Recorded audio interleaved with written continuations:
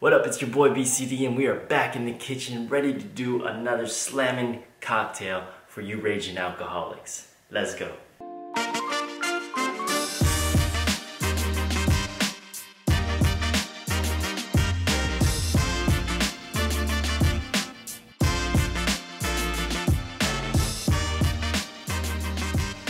So today what we're gonna do is take some gin, we're gonna take some seasonal fruit like blackberries, we're gonna muddle the blackberries with some mint. Oh, it's gonna be delicious. And, and we get that all mixed up and going all nicely. This is gonna be a great drink to kick off that New Year's spirit. So here I have my beloved Hendrick's gin. This is awesome for a lot of reasons. There's actually some cucumber flavors in this gin, um, along with some rose, which is pretty awesome. We're gonna take Trader Joe's triple ginger brew, which is basically uh, another name for some fancy ginger ale. And, uh, and we're gonna top this off with, of course, some muddled blackberries, some refreshing mint, and some lime juice. Meld that all together and bam, you have yourself a solid cocktail. Let's go. All right, first things first, let's get some sour going. I have one lime. We're gonna just squeeze this juice out. Super easy. I'm gonna cut the base of that and we're gonna pop that into our fresh lime squeeze. Get all of that out. So that we want about one ounce of fresh lime juice.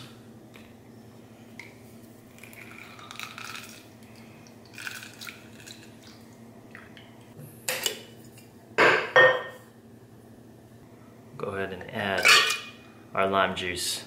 Second ingredient is going to be some agave. And what we want to do is get that golden ratio of 2, 1, 1. That's two parts of alcohol or base spirit to one part sour to another one part of sweet. So this is our one part of sweet. We're going to do an ounce of this.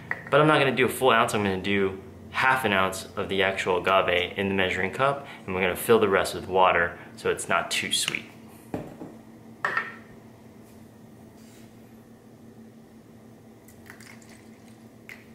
We're gonna take our mighty whisk.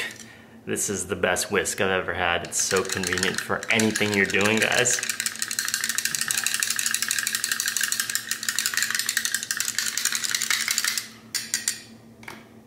That's it. That's a sweetener. Let's get that back into our mixing cup. And then finally, we have some gin.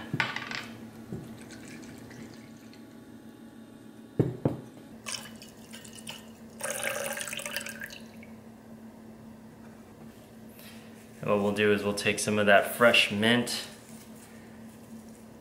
and pop in about 8 to 10 leaves.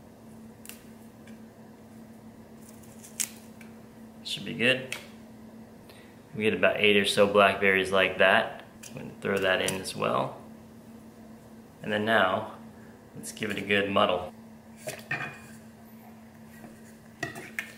The muddle is so important to have in your arsenal of cocktails because if you're doing fruits, if you're doing herbs, anything, any type of drink like this, oh man, having a good muddler just makes your life so easy, simple, pounds all that flavor out of all those fruits, melds everything into the alcohol.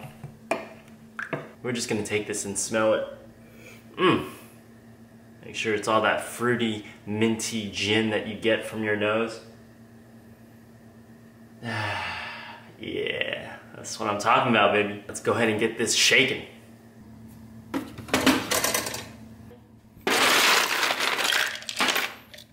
Let's go ahead and drop that ice in.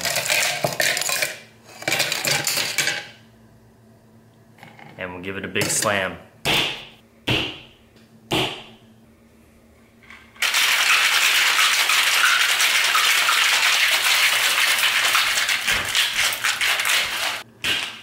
Done.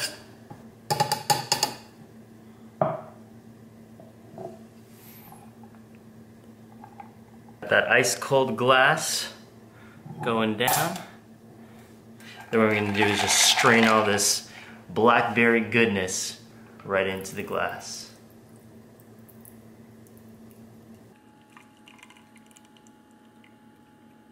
And now for that ginger beer.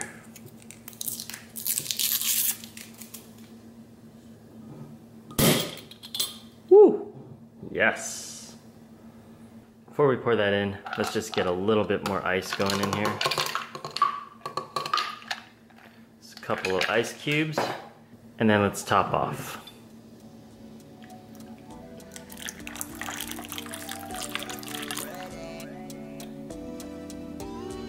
And what we want to do is just get a nice mint leaf right over the top and then we'll smash it with a couple of blueberries.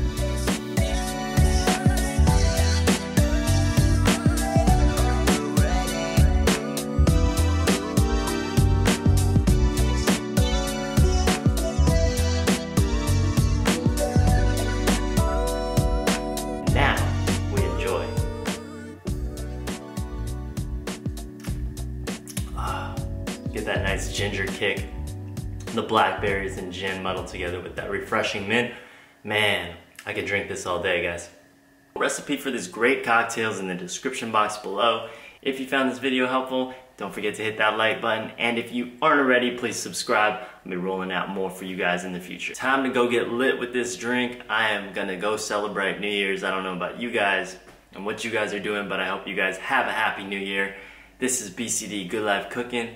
Keep it vegan life. I'm out. Peace.